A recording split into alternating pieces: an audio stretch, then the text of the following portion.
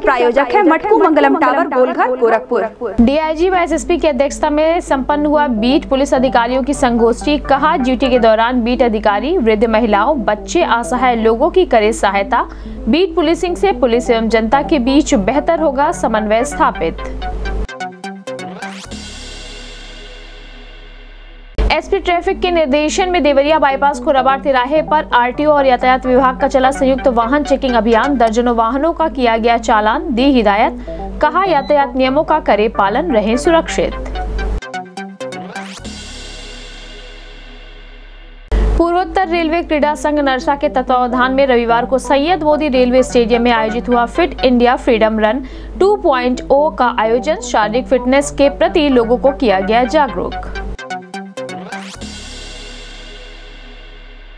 National boxing championship में gold जीतने वाले गोविंद साहनी को अंग वस्त्र व स्मृति चिन्ह देकर किया गया सम्मानित, कहा, देश के लिए जीतेंगे गोल्ड।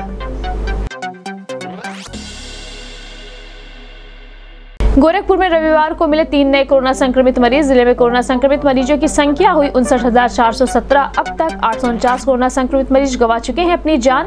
12 हुए एक्टिव मरीज़ सीएमओ डॉक्टर सुधाकर पांडे ने की पुष्टि। इंद्रेश साहनी को समाजवादी पार्टी के सैनिक प्रकोष्ठ का महानगर अध्यक्ष बनाए जाने पर पार्टी कार्यालय पर किया गया स्वागत।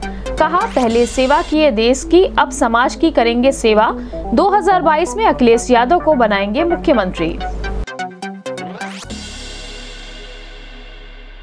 Uttar Pradesh Uttarakhand medical and sales representative association जनपद इकाई द्वारा यूनिट काउंसलिंग कमेटी का आयोजित हुआ कन्वेंशन।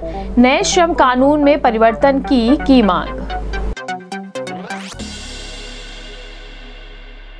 और श्री राम घाट आरती समिति द्वारा वर्ल्ड रिवर डे के अवसर पर राप्ती तट पर राप्ती मैया की की गई आरती, नदी को सुरक्षित रखने का लिया गया संकल्प।